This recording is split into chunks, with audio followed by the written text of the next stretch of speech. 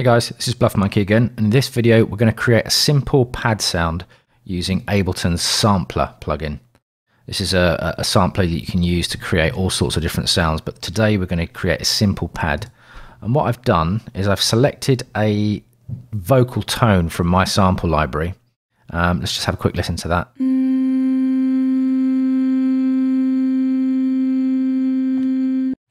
So it's fairly monotone. And for the purposes of this pad, this is what we want. We don't want any, anything evolving or anything too complicated because we're going to use this to create chords and melodies. So first things first, let's open up the sampler and I'm going to drop this sample straight in. You can switch this channel off now because we don't need it. And if I just play this, you can already play melodies and, and, chords with it, but we've got a little bit of a, a, kind of attack at the beginning there, which we don't necessarily want, or we don't want it the way it is now. So we've got a couple of options here. Uh, what I want to do is I want to put the sampler into sustain mode. And what that allows you to do is it allows you to set a starting point for the sample and it allows you to set a loop point so that you'll you'll get a start point which you can set here. This is where the sample will start from when you hit one of your notes. And then you can also set a loop start and end point here.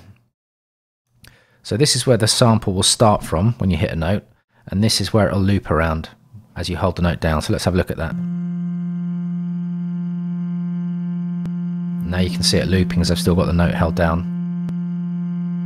Now one of the issues of doing this is you will get some clicking because where the sample loop starts and ends, it's not going to be in exactly the same spot. So what we can do to help alleviate that, the UI here is quite small and it's a little bit fiddly.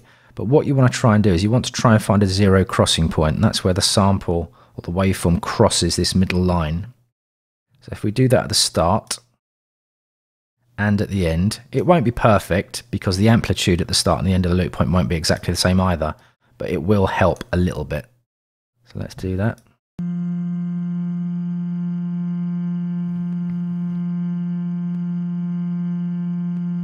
So that's a bit better. And then what you can also do is you can crossfade the start and end points as well.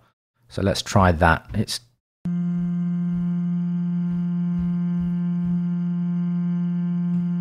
So that's softened that off quite a lot.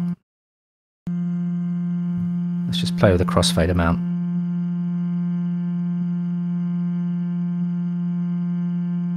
Okay, you don't necessarily need to worry about the pulsating. That's part of the character of using a sampler to create sounds like this.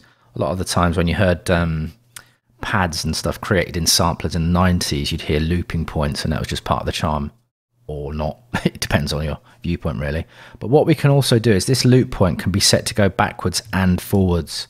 So if we have a click on this, look at the UI, this is where the sample will start, and then it will loop backwards and forwards between these two points here.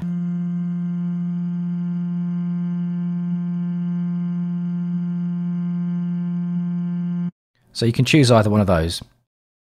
Right, so the next thing we need to do is if we come over to filter global section, what it will allow us to do is set our ADSR envelope up.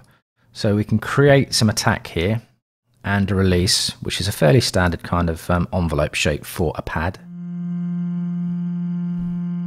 This is note off. I'm not holding a note. That might be a little bit too long. Yeah, 12.8. So let's have it for four or five or six seconds, something like that and hear what that sounds like.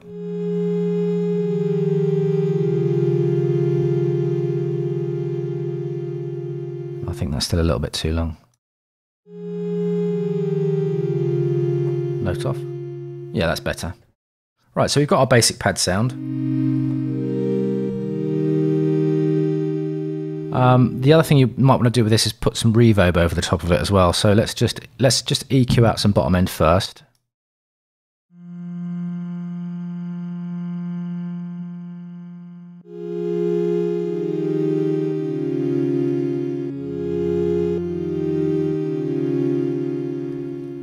Find a nice reverb. I've got a bit of a favourite in the um, Ableton Reverbs, which is this large space chorus. I use this one quite a lot.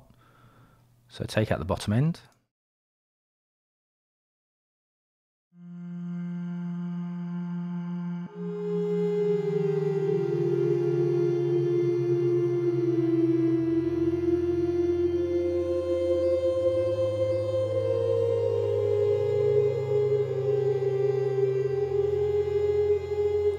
So, you know, that's almost quite choral. You could use that in plenty of ambient tracks. You could use that in um, a, breakdown. But it's it's a good way of getting an alternative kind of pad sound rather than the, the usual synthesized um, pads that you hear all the time. And I would encourage you to try and use various different kinds of samples as well. You don't just necessarily need to use these flat tones. So have a go at that, and I hope you found something useful in this video, and I'll see you in the next one. Thank you.